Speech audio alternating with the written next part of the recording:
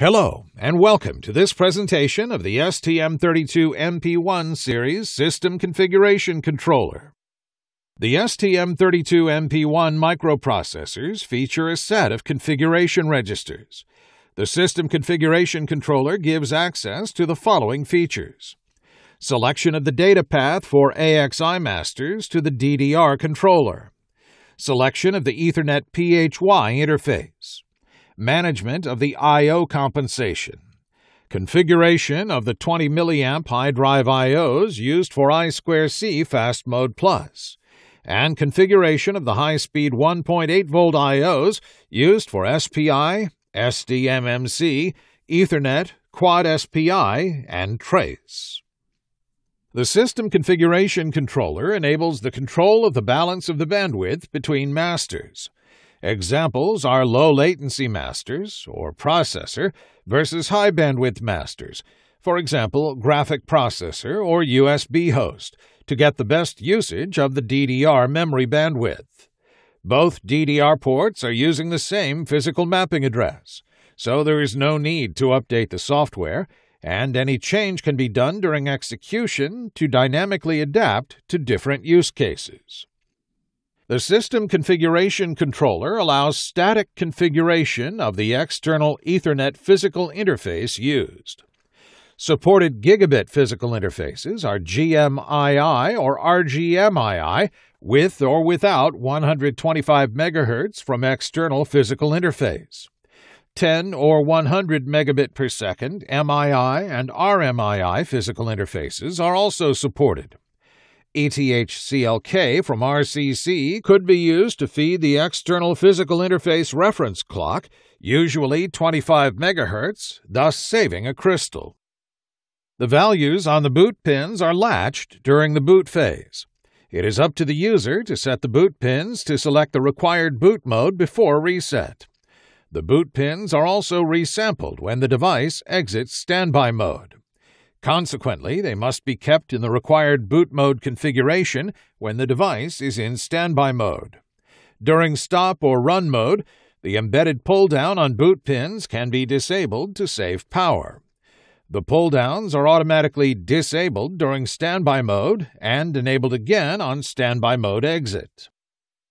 Refer to the application note AN5031 getting started with STM32MP1 series hardware development, and the reference manual for details on the boot pins. In order to have the best electrical characteristics, whatever the conditions, the I.O. compensation automatically tunes the characteristics of the I.O.s when the voltage or temperature changes. Required only for VDDIO frequencies above 50 MHz. The control timer break register contains the control bits related to safety and robustness. Two control bits steer certain error detection events to the timer's break inputs. This allows timer outputs to be placed in a known state during an application crash. Once programmed, the connection is locked until the next system reset. These internal events are the power voltage detector event and the Cortex M4 lockup state. The System Configuration Controller manages the I2CIO's Fast Mode Plus 20 milliamp drive enable control bits. This mode is only enabled on pads selected for I2C and AF MUX.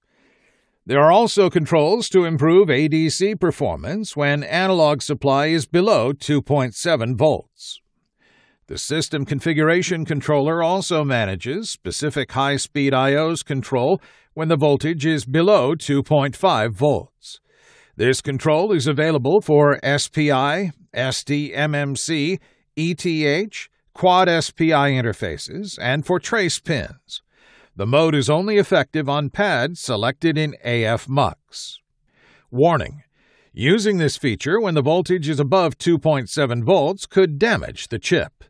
To avoid unwanted programming, a global enable fuse is provided as OTP and must be set only for a platform expected to use an I.O. voltage below 2.5 volts. The on-chip bootloader allows the user to program the flash memory or set OTP fuses through a serial communication peripheral. The supported protocols are USART and USB. USB is recommended for a large amount of external memory. Note, the USB boot works with specific values of the external quartz oscillator on HSE with 24 MHz as default. 25 and 26 MHz are also possible with dedicated OTP fuse settings. OTP setting for HSE auto detection allows 8, 10, 12, 14, 16, 20, 24, 28, 32, 36, 40, and 48 MHz for USB boot. The USART UART uses the internal HSI oscillator with automatic baud rate detection. There's no restriction on the HSE frequency between 8 and 48 MHz if the USB port is not used during the boot phase. It could be used by an application with any HSE frequency. In addition to this training, you can refer to the reset and clock control, power controller, timers, Ethernet, and I2C training.